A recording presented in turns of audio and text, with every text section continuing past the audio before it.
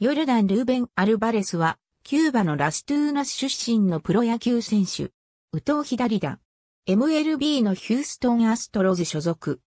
キューバの国内野球リーグセリエ・ナシオナル・デ・ベイスボルのレニャドレス・デ・ラストゥーナスでプレーした。2016年6月、ロサンゼルスドジャースとマイナー契約を結ぶ。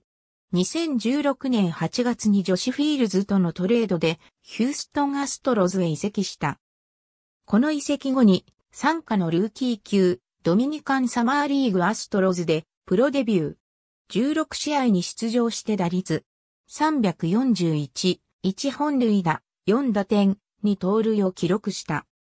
2017年は A 級、クワットシティーズリバーバンディッツと A 級ブイーズクリークアストロズでプレーし、2球団合計で90試合に出場して打率。304、12本塁打、69打点、8盗塁を記録した。オールスターフューチャーズゲームの世界選抜に選出された。オフにはアリゾナフォールリーグに参加し、メサソーラーソックスに所属した。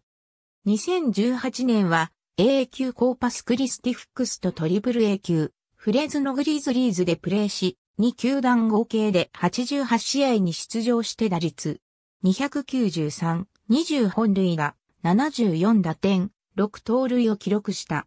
また、この年もオールスターフューチャーズゲームの世界選抜に選出された。2019年は開幕をトリプル A 級ラウンドロックエクスプレスで迎え、6月9日にメジャー契約を結んでアクティブロースター入りした。同日のボルチモアオリオールズ戦にて5番指名打者でメジャーデビューすると4回裏にディラン・バンディからメジャー初安打となる2点本塁打を放った。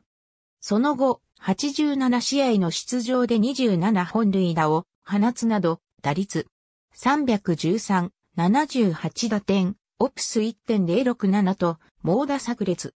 強打自慢のアストロズに彗星のごとく現れ、新人とは思えない打棒でリーグ優勝への起爆剤となり、それらが評価され、記者30人の1位秒をすべて集める満票での選出で新人王を獲得した。打撃はパワーだけでなく、アベレージも残せると高く評価されている。